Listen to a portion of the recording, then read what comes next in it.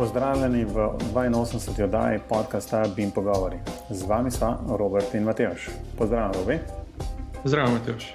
Na danes imamo samo eno temo in to je Bim World 2018. Um, tja sva šla dva dni nazaj, um, oziroma zdaj sva že nazaj v Ljubljani.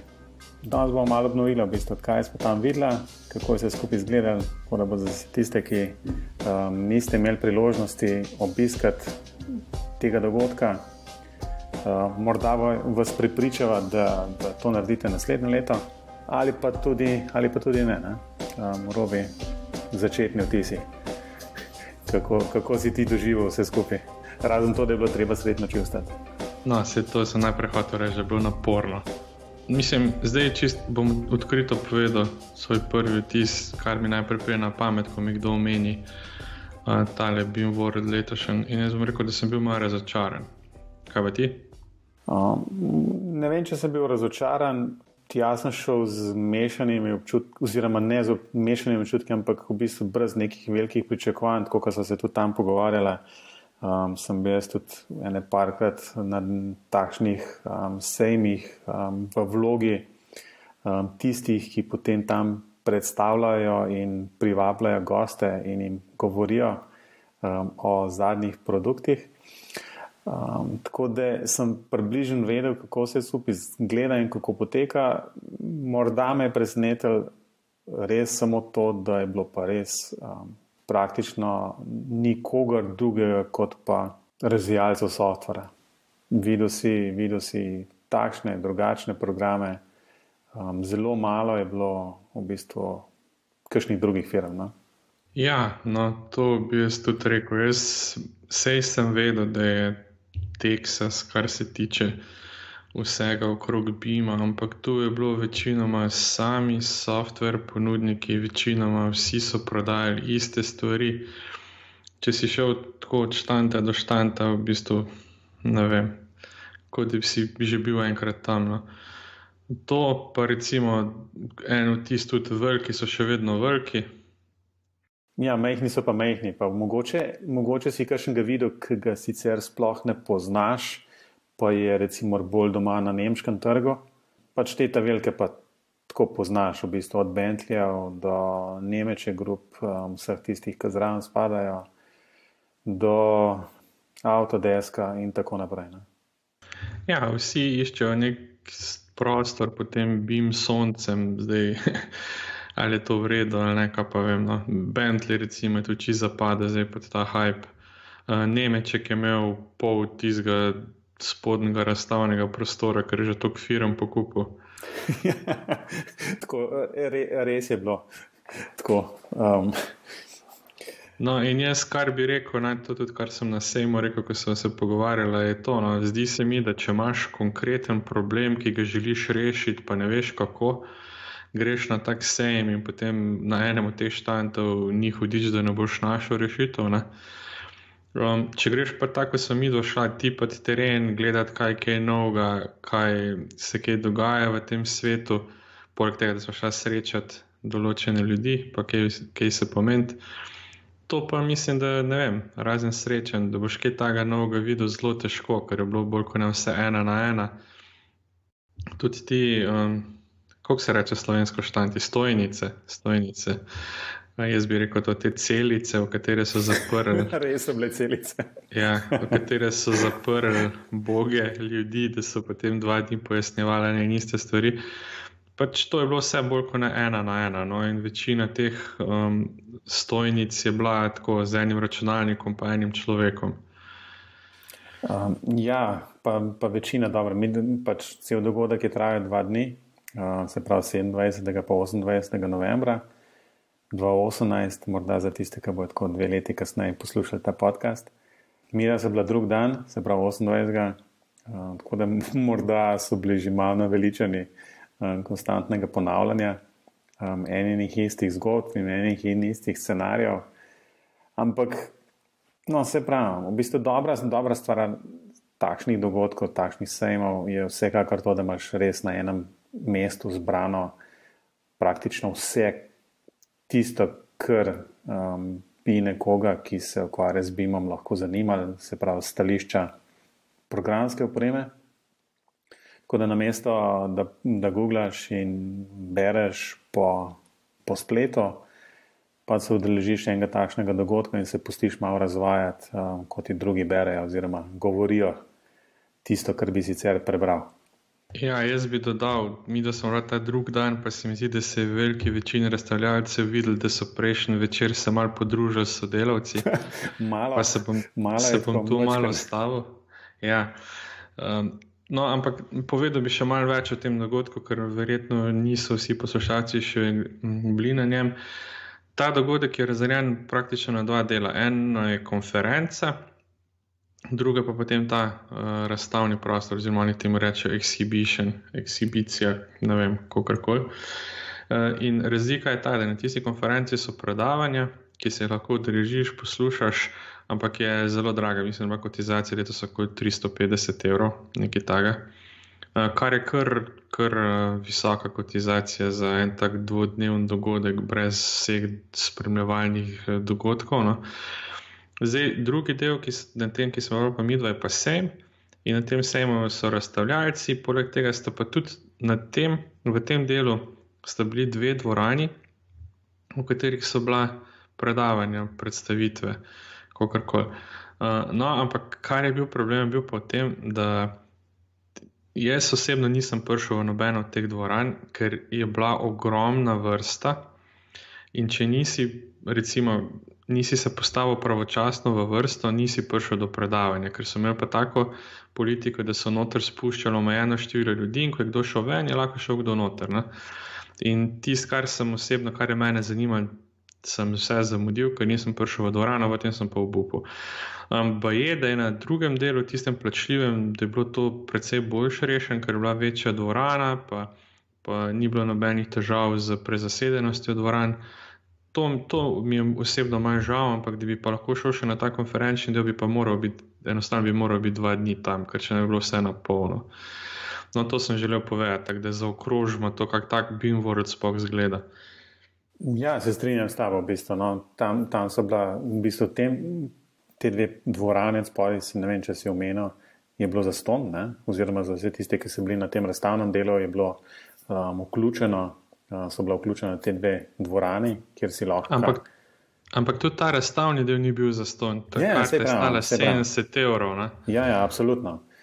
Je pa resno, se strinjam s tabo. Očitno so čisto podcenili število obiskovalcev oziroma zanimanje za ta predavanja, kjer je tista vrsta bila res. Um, 30 metrov dolga, v bistvu. No? Tako da, da si boste znali predstavljati, kako to zgleda, ko čakaš pol ure na koncu, je v bistvu že vmes, kot se je tebi zgodil. Vmes se je predavanje že začelo in končalo, ti pa še kar sediš, oziroma stojiš v vrsti in čakaš, da je slučajno se te bojo usmilen, te bojo noter spustiti. Ja, jaz sem potem obupal, ker je bilo tisto predavanje mim. Uh, vem pa, da so tisti ljudje, ki so stali z mano v vrsti, so čakali še nadaljno uro, pa še vedno niso bili noter. Tako da Pač, vem, če greste kdaj na tak dogodek, računajte s tem, da zasedete mesto v dvorani takoj. Ja, tako zjutraj moraš pa v bistvu sedeti noter, dokler pač imaš um, to možnost, ne? oziroma pač se lahko si ne boš cel dan, zato je pa toliko časa trajalo, da so lahko novi ljudje noter prišli. Ja, no, to je. To, no. Zdaj, kak je bil pa tvoj tisti, nisi pa nič povedal. Jaz sem, jaz sem bil zadovoljen predvsem s tem, da, da smo se lahko pogovorili, da smo obiskali tiste, ki so bili iz Slovenije, kar nekaj firm, koliko so jih naštela, šest, sedem, se je predstavljalo na, na tem sejmu, pa bomo mogoče potem malih opisali oziroma pač povedali, kje so bili.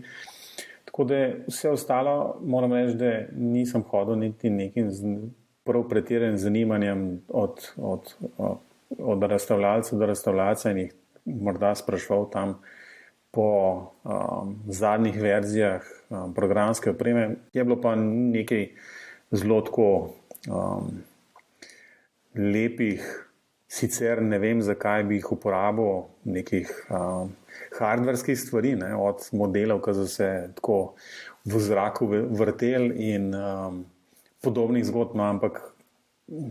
Pravim, zelo, zelo si težko si predstavljam, kaj je tisto, kar, kakšen uporabniški scenarij bi nekdo zamislil, da bi kakšno takšno stvar uporabil, ne? razen zaradi same prezentacije, pa zaradi imidža. Kako so bili pa te naši slovenski razstavljalci, robi, imel si probat, lahko si, lahko si sprobal v bistvu en simulator, ne? ti si je bilo sploh dobro, se mi zdi.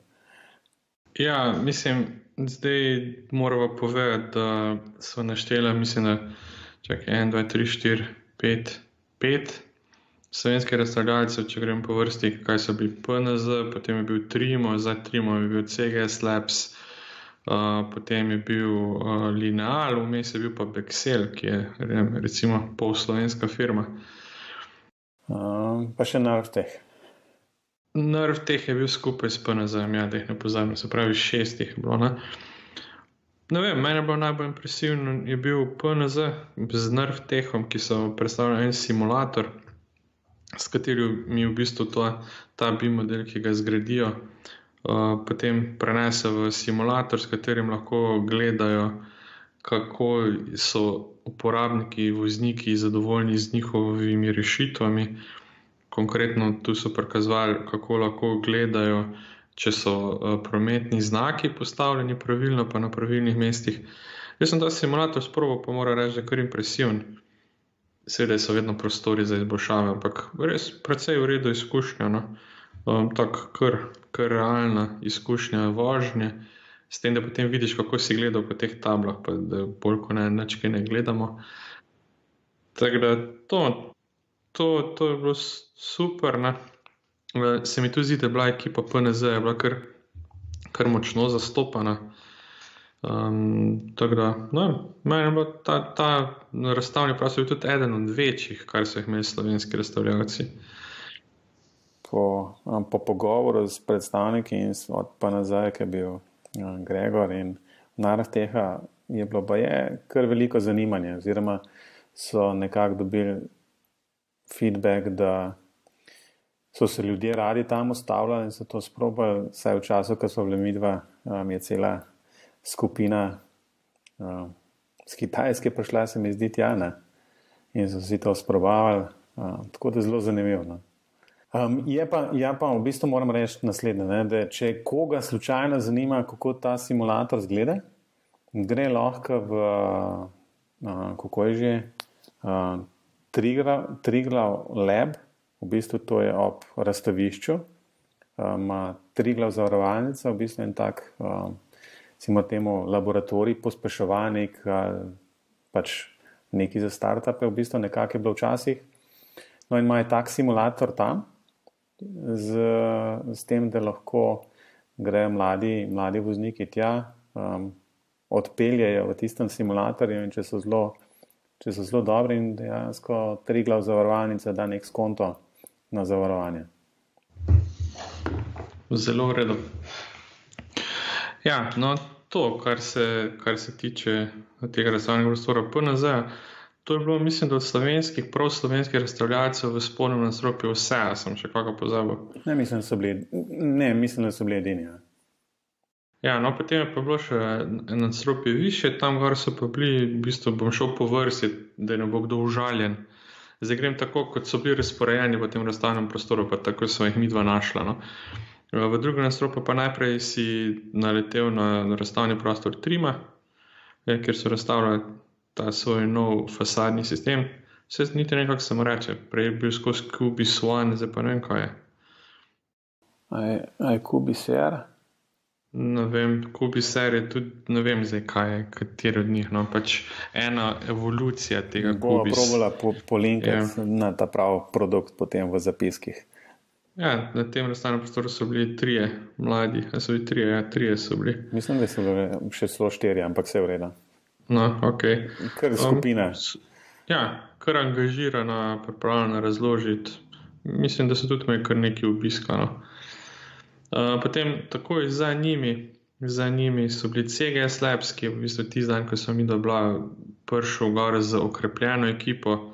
Mislim, da je kar večina podjetja gor, je bilo že zaradi tega zanimivo, uh, malo jih videti, pa se pogovoriti z njimi. Uh, Rekli so, da je bilo zelo veliko zanimanja iz nemškega trga, da Nemci šele zdaj odkrivajo BIM v infrastrukturi.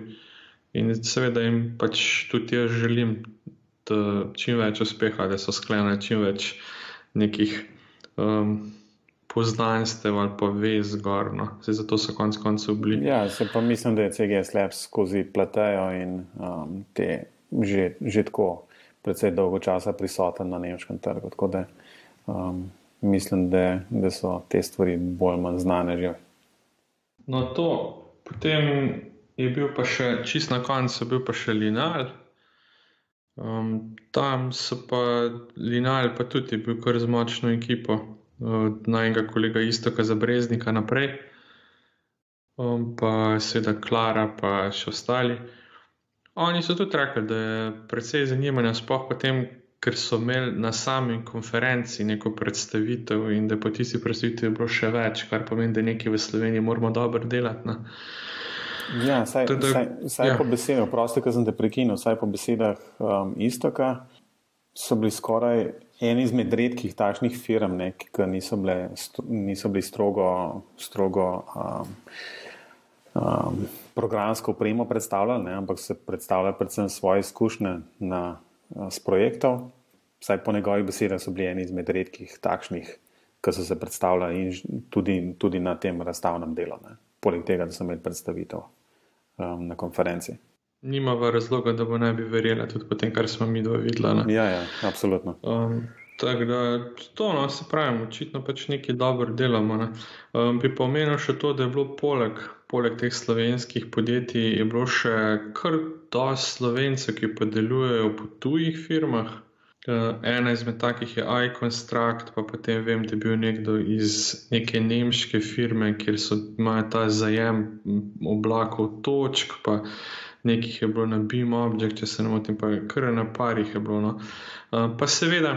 Srečali smo tudi ljudi iz uh, Sibima, uh, predvsem smo, se, smo govorili s predsednikom Sibima, Andrejem Tibautom, pa potem bilo je tudi ogromno njih študentov, nažalost samo iz Maribora.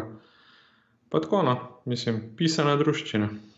Ja, v bistvu, če tako pogledaš na tistem, moram reči, relativno majhnem razstavnem prostoru, saj mislim, da se tebi zdaj zadeva relativno majhna. Jaz morda nisem niti več pričakoval, ne? ampak um, res, če tako zdaj pogledamo, v bistvu, če, če, če veste, kako izgleda razstavišče v Ljubljani, um, tista nov del, recimo, ne? v tist pritličje bi, bi vse to spravili skozi. Ne?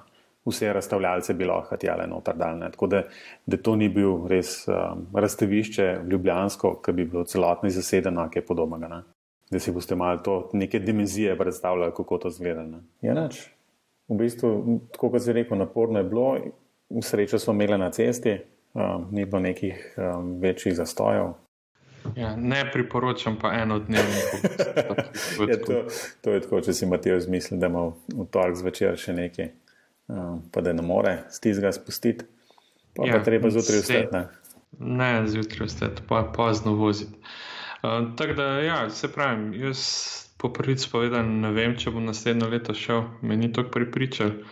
Je pa to definitivno enkrat za videti. Bi pa rekel tako, no, da če pa imate dejansko problem, za katerega ne najdete rešitve, pa bi želeli videti, če kaj obstaja, kar bi lahko vam pomagalo ali pa izboljšalo vaš delovni proces, potem lahko pa tukaj na relativno majhnem prostoru najdete najverjetneje vse, kar je prisotno v Evropi ali pa vsaj večino tega, kar je prisotno v Evropi.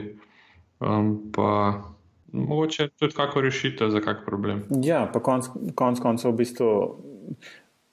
Pol, mislim, res, da smo rekli, da je bila večina teh um, razvojnih firm tam, oziroma pač prodajnikov nekaj programskih rešitev, ampak so bili tudi um, Building Smart Finland, Building Smart, um, Building Smart Germany, Um, skratka, so bile zastopane tudi um, recimo te standardizacijske skupine, tako da se je dal dejansko tudi nekako tako, manjkrat širšo sliko bima, bima dobiti.